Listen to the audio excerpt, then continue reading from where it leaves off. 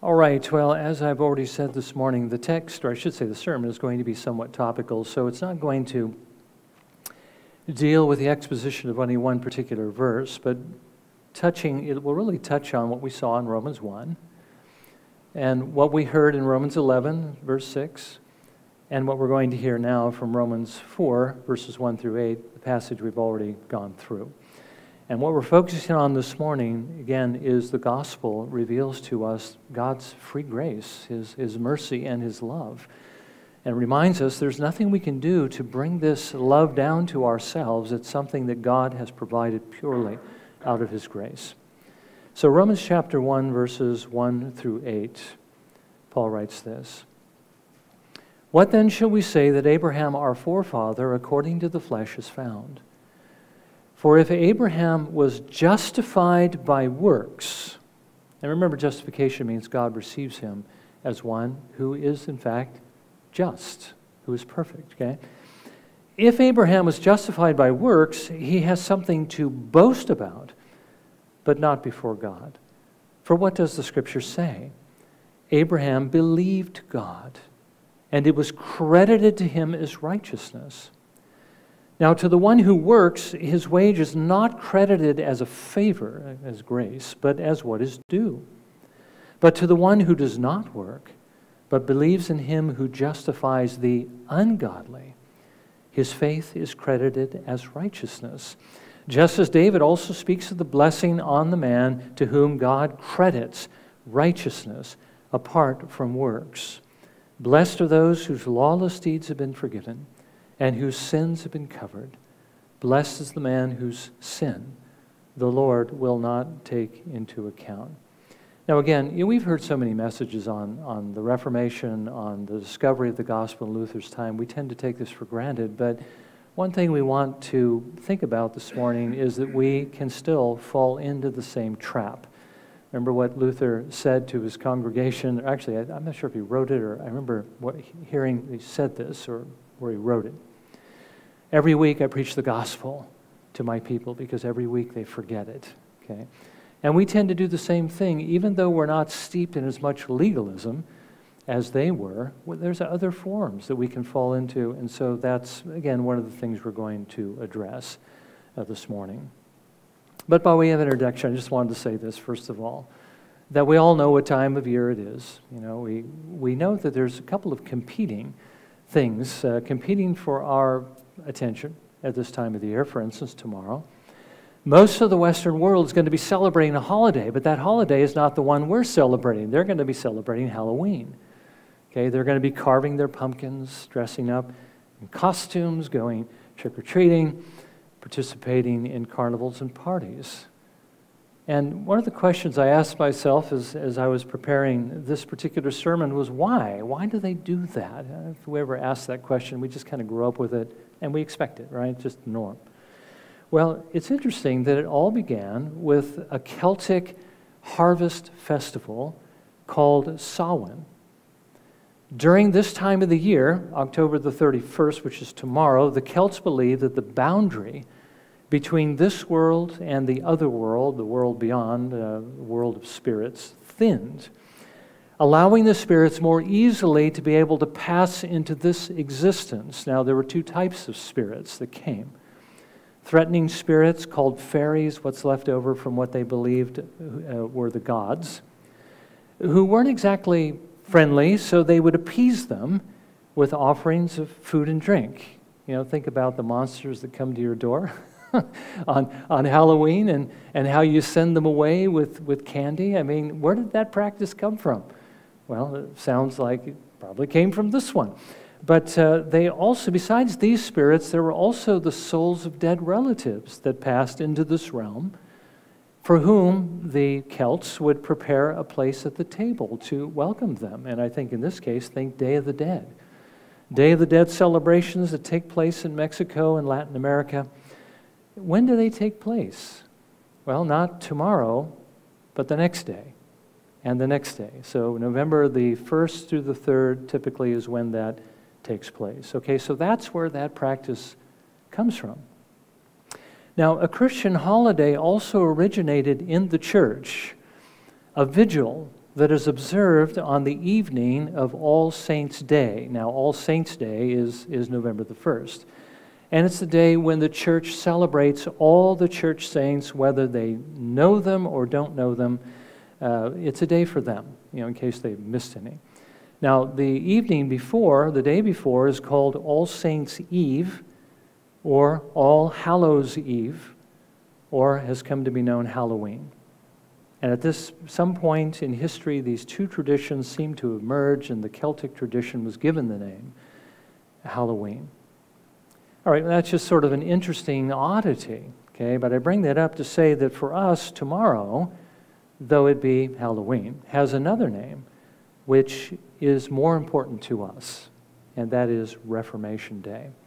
Because it was on this day in the year 1517 that an Augustinian monk by the name of Martin Luther, intending to call for a debate on the abuse of indulgences, nailed his 95 Theses to the church door in Wittenberg, igniting uh, the flames of Reformation. Now, on this day, you know, uh, typically what we do is look back on God's goodness and mercy. Not only because he made his gospel again clear to his church, that we are justified by grace through faith alone, which interpreted means this that out of God's infinite love, He forgives us and accepts us freely as a gift of His grace into His family forever, if we will only believe and trust in His Son. We rejoice in the fact that that's now again made clear, but we also rejoice in the fact that at that same time, God raised up a man who had the gifts and the courage to proclaim this truth to the world at the risk of his own life. Now, what I'd like to do this morning is briefly revisit how the Lord applied the gospel of his free grace to Luther in his day and how we can use it to address the issues that we have to face today. In other words, we want to see how we can use the gospel of God's free grace in every area of life. Now, let's begin with Luther's situation. By his day, we know the church had fallen away from its apostolic foundation and had embraced many false teachings. The clergy were forbidden to marry, and that tempted many of them to fall into immorality. Mary and the saints were seen as mediators between man and Christ. Instead of Christ being the mediator between man and God, we needed mediators who would be able to bring us to Jesus because he was so austere uh, and wrathful that he might not receive us. And so the people were tempted to venerate Mary and the saints. The Pope was seen as the vicar of Christ, the head of the church on earth who spoke infallibly on matters of faith and morals. And believing this, the people hung on his every word, even when it contradicted Scripture, but of course they didn't know what Scripture said, so they were kind of at his mercy. Purgatory was seen as a necessary evil to satisfy the, te- the temporal punishments of sin, and it led the people to work very diligently, trying to satisfy for their sins while they were on earth through the giving of money and alms and through good works. Transubstantiation, the teaching that the bread and the wine and the Lord's Supper were miraculously transformed into the real body and blood of Christ, led the people to commit idolatry because when these elements were present, they would kneel before them and they would worship them. Now, of course, all this was compounded by the fact that the church was withholding God's word from the people. And it made the people dependent on the church to learn what God said. But the problem was the church was teaching them error. And so they, re, they remained in this superstitious ignorance. Now, the most dangerous error, of course, of the church at that time was their view of salvation. They believe that we are justified or accepted by God by His grace. They believe in, in, again, justification by grace alone. That's what they say. Because they know that we can't do it apart from God's grace, from His help that is provided for us through the sacraments. But they also believed it is by works.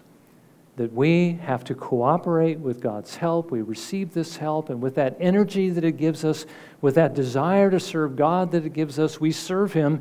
And as we're serving Him, we are perfecting our lives. And the goal is, of course, to, to reach the point where we are perfect. And when we are perfect, personally perfect, then God will declare us to be what we actually are, and that is just. But He won't do it unless we are just. And if we aren't when we die, which is true of most people, it was off to purgatory to suffer for tens of thousands, millions, or even billions of years until you can become good enough to enter into heaven. Now, this adding of works to God's salvation is the same problem that the Pharisees had. As a matter of fact, it's a problem that has existed throughout church history. They believed that God had given to them the ceremonial law and the Ten Commandments to be a system of works and sacrifice by which they would make themselves acceptable to Him. This is the error that Paul has to address again and again in Scripture, the Pharisaical error. Now, sadly, as I've said before, some Protestants also fall into this same error that God will not receive us until we reach a certain level of sanctification, even though, you know, we don't necessarily believe that. We don't believe it, we don't teach it. There are some churches that believe that that well, salvation is essentially our choice to receive Christ. And then we have to kind of keep ourselves in the grace of Christ by continually working. Well, it leads to this kind of a view that if I don't reach a certain level, I can't really be convinced that God has received me. You know, Finney believed that we're justified by grace through faith alone. But when you read his works, you see that he believed we only remain justified as long as we live a perfect life.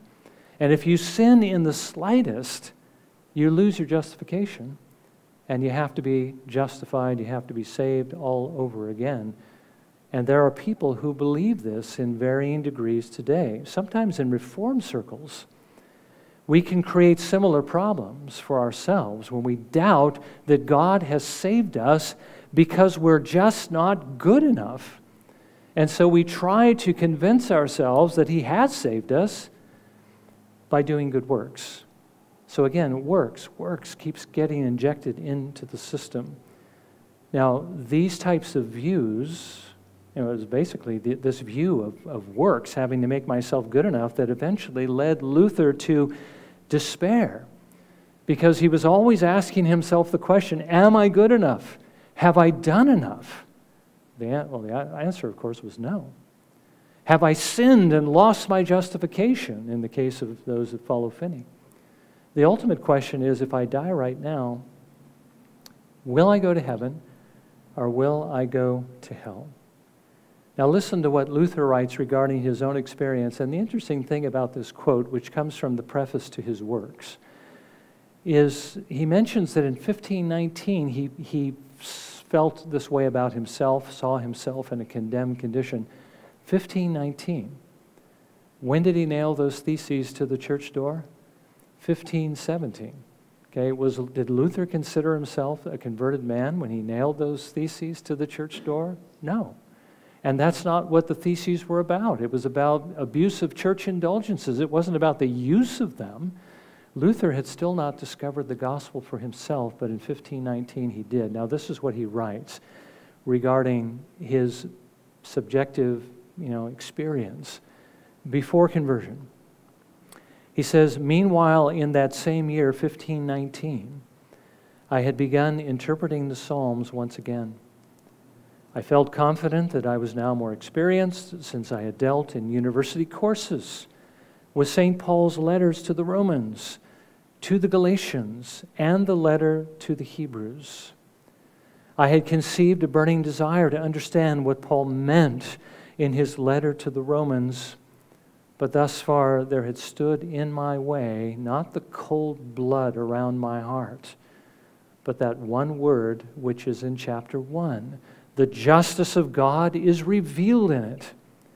I hated that word, justice of God, which by the use and custom of all my teachers I had been taught to understand philosophically, as referring to the formal or active justice, as they call it, that justice by which God is just and by which he punishes sinners and the unjust. But I, blameless monk that I was, felt that before God I was a sinner with an extremely troubled conscience. I couldn't be sure that God was appeased by my satisfaction. I did not love, no, rather, I hated the just God who punishes sinners in silence.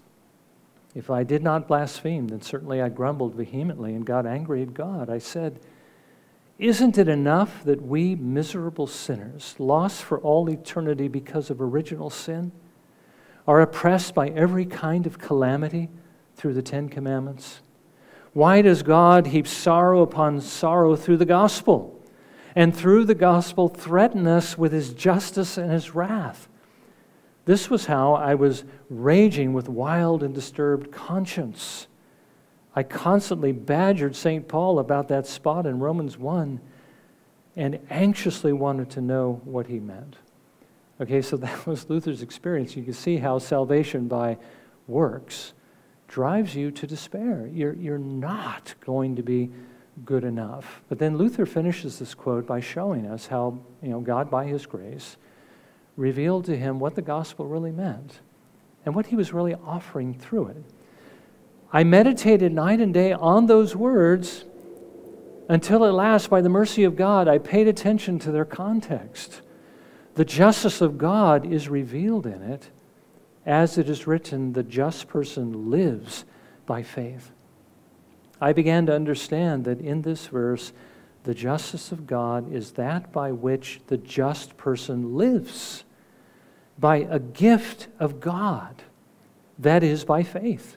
I began to understand that this verse means that the justice of God is revealed through the gospel but it is a passive justice, that by which the merciful God justifies us by faith. As it is written, the just person lives by faith. All at once I felt that I had been born again and entered into paradise itself through open gates. Immediately I saw the whole of Scripture in a different light. I ran through the Scriptures from memory. Wouldn't that be wonderful, huh? and found that other terms had analogous meanings.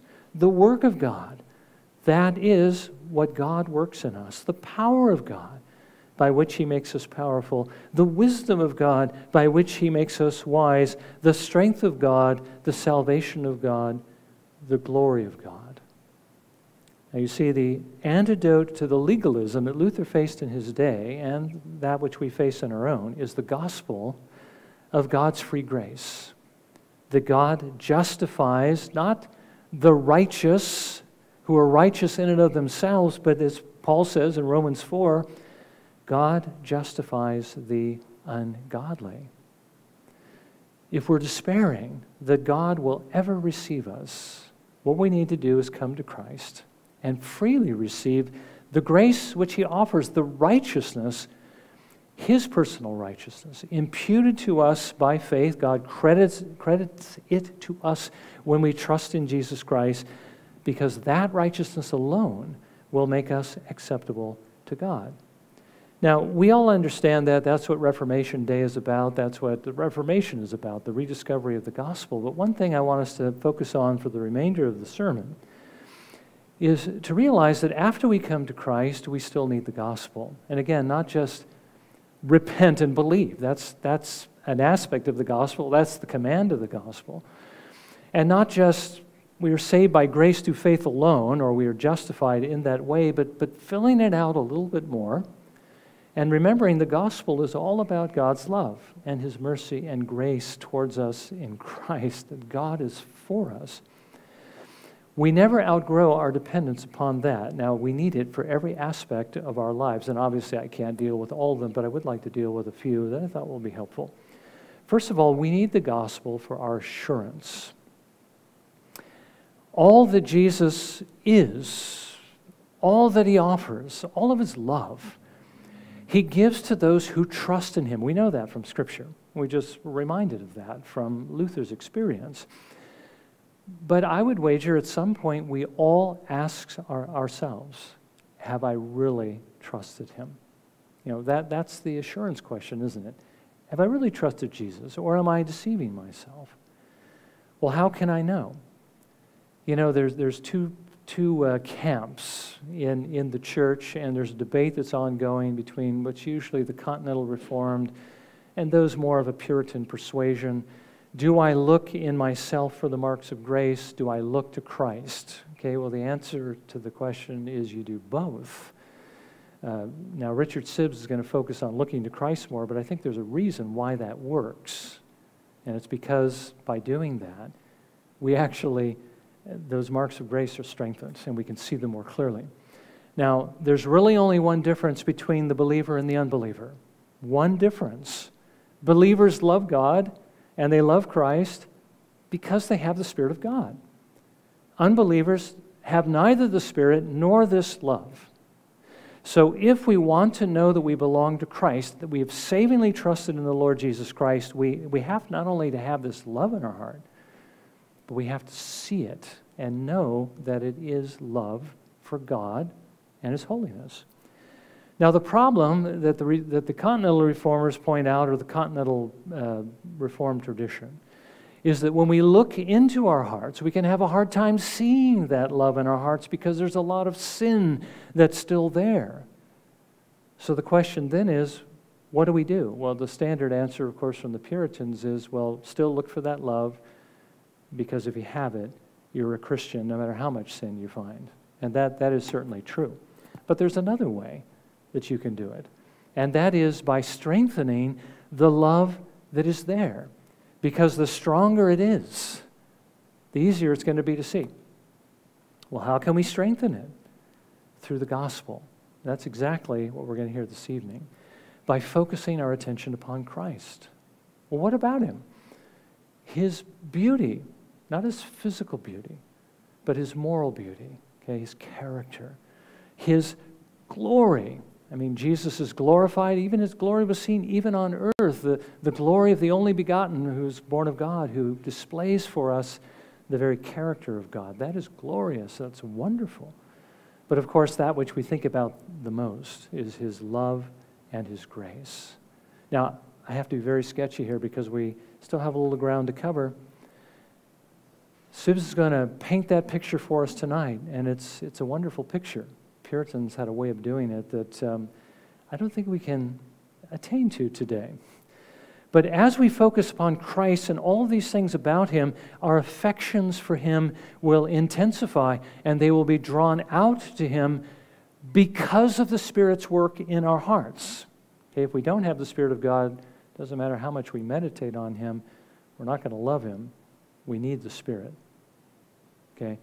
So if we have the Spirit, this will work our love will grow stronger, we'll feel those affections more strongly, and then we will see them more clearly. And that will show us that we really do belong to the Lord Jesus Christ. I hope you can see that's a combination of those two views. I think we really do need both. But along with stoking the flame, so to speak, by meditating on Christ, spending time with Him, and getting to know Him, we also need to make sure that we don't let our hearts also go after the world because these two are in competition with each other. The more we love the world, the less we're going to love Christ. And conversely, the more we love Christ, the less the world. We have to stay clear of the world, otherwise, it's going to quench those flames and our assurance is going to go down. And we don't want that.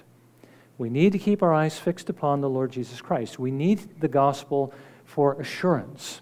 Secondly, we need the gospel for sanctification how can we, who know we belong to the Lord Jesus, how can we have our heart's desire, which is to become more like Him? That's what sanctification is all about. And how can we do more for Him? Well, the answer is through the gospel. The only way we're going to do more for Him is if we love Him more. Remember how we saw in Romans chapter 9 what motivated the Apostle Paul? His love for his family you know, uh, the Jews, that God loved them and gave them such blessings, but also the love of Christ in his heart, okay? That's what drove Paul to do all that he did. He was the most industrious man outside of our Lord Jesus Christ who has ever lived. But he was because of love. And if we love him more, we will do more. But how do we love him more? Again, we have to spend more time with him. Same thing with regard to assurance. Think about the gospel. Think about what he has done for us. The gospel, again, is, is the account of all that God has done for us in Christ. It's not just the command, repent and believe. The gospel has a broader application. So we need to remember those things. And again, we'll see more of that this evening. Third, we need the gospel to help us avoid antinomianism. Okay, and that's the opposite of legalism. That's also a very real problem for Christians, especially when there is a strong emphasis on God's grace. You know, there are some Christian communions where grace is so emphasized that it squeezes out the need to obey. You know, Jesus has done it all. We don't need to do anything. And I've told you before, the college that Don and I attended was very much of this mindset. Their reasoning was this if we are justified by grace through faith alone, then adding works in any way and saying that they must be there is um, basically destroying grace. I mean, doesn't Paul say that if it is by, you know, it's by grace, can't be by works, otherwise grace is no longer grace. Well, we know Luther and the Reformers believed that justification was by God's free grace. It was received, you know, by faith alone, and there were no works involved in it because that's legalism. But they were equally convinced that His grace or His Spirit within us will produce obedience. Okay, we know that that's true. Scripture agrees. James tells us, For just as the body without the Spirit is dead, so also faith without works is dead. And know that dead faith will not save you. Okay? James is distinguishing a true faith from the faith of demons. John writes this in 1 John 3:10. By this the children of God and the children of the devil are obvious. Anyone who does not practice righteousness is not of God, nor the one who does not love his brother. Could we want, I mean, could we ask for anything clearer than that? Okay, if, if we are born of God, if we are his children, okay, we will practice righteousness, including loving our brother. Jesus, in his work, not only came to free us from condemnation from the sentence of hell, but also from the power of sin, so that we might obey him out of love. Wouldn't it be cruel if the Lord Jesus Christ had come and left us in the same condition in which he found us? You know, this is the reason why he gives us the Holy Spirit, so that we can share of his same joy and pleasure in this love relationship with God, which he will not have with those practicing sin. Okay? Jesus came to make us to be more like him. And that's what the gospel reminds us of. So we don't fall into the, the error of antinomianism. You know, people who believe they don't have to obey God, who think that they've come forward at a, you know, some kind of a service, prayed a prayer, they were earnest and so forth, and yet they leave the church and abandon Christ, they're not saved. And yet they are led to believe that they are. That's the cruelty. Okay? because those people are going to be condemned unless they're truly born again and begin to love the Lord from the heart, the evidence of which is going to be following him. Again, the gospel reminds us of that. The gospel is Jesus came to free us from both the guilt and power of sin. Now, fourth, we need the gospel to be able to extend forgiveness towards others. By the way, there's, there's an endless list of what we need the gospel for. I'm just going to point these few out. Now, it reminds us that, you know, how much God loved us and how much He has forgiven us. And so, how we are obligated to forgive others. That's something we, we focus on in the Lord's Prayer. But it also comforts us that God is going to balance the scales of justice. Okay, with regard to those who have, you know, that are our enemies, who have injured us in some way, giving us a reason why we can be merciful and forgiving. Whatever anybody has done to us, if they come to Christ, if Christ has died for them, that sin is already paid for. And obviously, we don't want to exact a double payment by seeking retribution ourselves. Christ, you know, has paid for that sin. And of course, if that person truly has come to the Lord, one thing they will want to do is ask our forgiveness for having injured us in the way they have. But even if they never come to the Lord Jesus Christ, the gospel reminds us that they will ultimately pay for that crime, won't they? I mean, God's going to hold everyone accountable for all the sins they've ever committed. Those who are in Christ, He did it at the cross. Those who are outside of Christ, He will do it, as we know, in hell forever. And that's the reason why God says to us through the Apostle Paul do not take your own revenge, because God is going to repay, either through the cross or through eternal punishment. And again, that's what the cross reminds us of.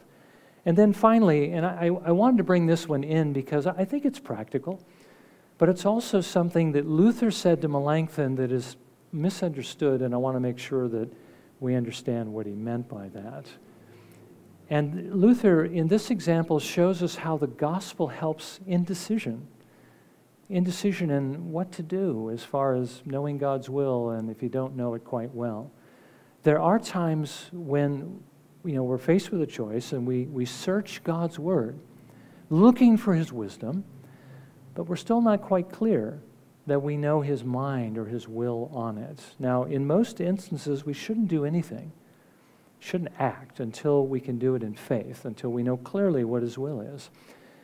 But there are times when it's better to choose.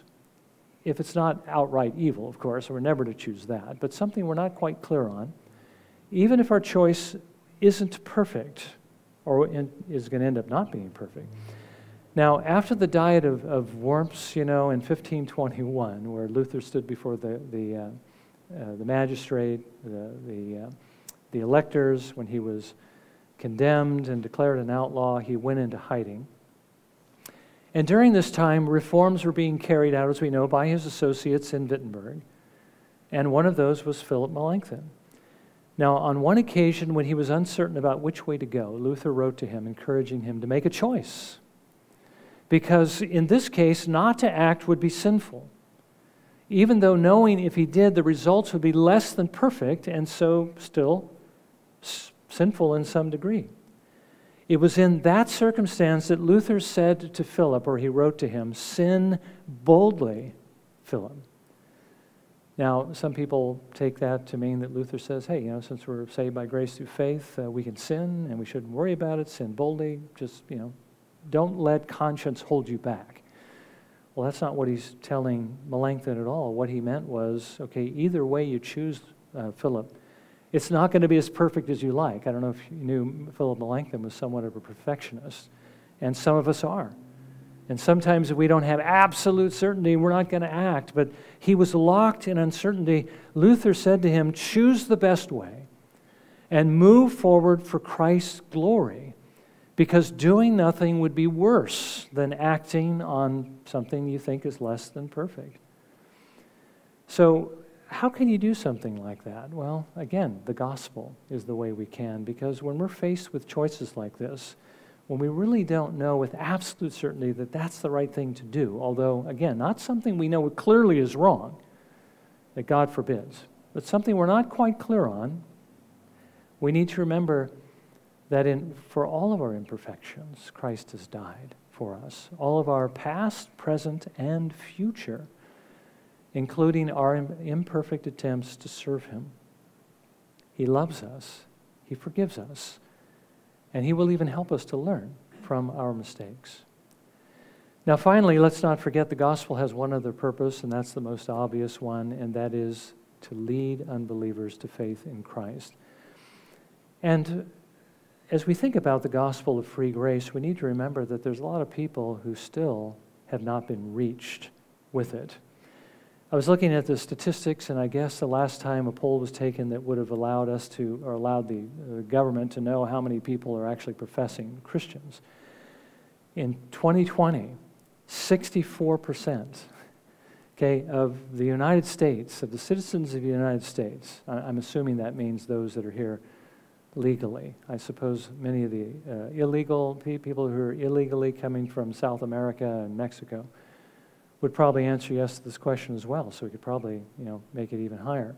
64% of these people, only 36% say that they're not Christians. Now, if that's true, then two out of every three people that you meet that are total strangers to you, statistically speaking, are true believers, or I should say, are believers. Now, should we believe this? now, if that were true, would we be in the situation that we're in today? Okay, well, I don't think that's quite likely. So we need to realize that most of the people who claim to be Christians are not born again Christians but they are Christians in name only, what we call nominal Christians. And what that means is you add many of those, probably the majority of those, to the 36%. And most people in our culture need to hear the gospel. So, what do we do? Well, obviously, we need to begin with some with apologetics. And again, just briefly, Point out the evidence God gives for his existence. There's plenty of it. They already have enough to leave them without excuse. Point those things out to bring them face to face with God. And then give the arguments to show the Bible is his word. You may need to do that with some people, not with everyone. With everyone, we do need to bring the law. We need to remember the law does have a purpose before we come to faith in Christ. It's not just meant for our sanctification, you know, to help us know how to love but it's also to point out our lack of love when we were loveless, to put it that way. Uh, we need to explain God's law so the people will see their failure and their need for the Savior. Isn't that what John the Baptist did when he went out preaching? He didn't go out and say, God loves you. You know, Israel, God has elected you, He's adopted you. Uh, what he said was, repent because there's one coming who's going to baptize you with fire if you don't. Okay? That doesn't sound too loving, but it actually is. Okay, that I'm, I'm sure John the Baptist did this out of a love and concern for Israel, and we need to do the same for those that we encounter, but we need to do it out of love. You know, our purpose is not to condemn them, but our purpose is to show them that they're condemned already and they need a Savior. But let's not forget, they need to hear the gospel of God's free grace in Christ. And by the word free, you understand it's free, it's a gift. A gift of God's grace. You don't have to earn it, you don't have to work for it. He gives it freely if they will simply trust in the Lord Jesus. I say simply. No one in their own strength can do that. But those whom the Lord has chosen, He will give that strength. And so we don't have to worry about the fact that people can't do that. We just simply need to present the message and invite them to do so, even command them to do so, but out of love. This is the message, the gospel of God's free grace that the Spirit of God makes powerful to save. So, all this is to say this that as the world prepares to celebrate Halloween tomorrow, in order to feed the monsters that come to their door, okay, let's remember the event, okay, when the Lord again revealed to us the gospel of his free grace. And let's remember that we need it as much as anyone else. We need it as medicine to cure every spiritual ill that we have and to help us grow in Christ. But they need it in order to find him. Well, let's, uh, let's spend just a moment in prayer, shall we, as we prepare to, to come to this memorial of Christ's love for us in the supper.